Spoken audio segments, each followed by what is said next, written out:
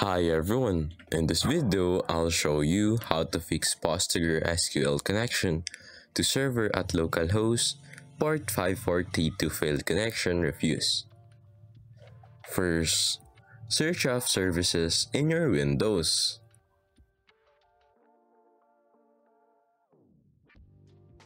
And in services, look for PostgreSQL x6414. But in my case, I don't have it, so I'll just show you what you need to do. For example, this is the PostgreSQL x614. Double click on it and make sure that this option is automatic. Click on start and there will be a pop-up.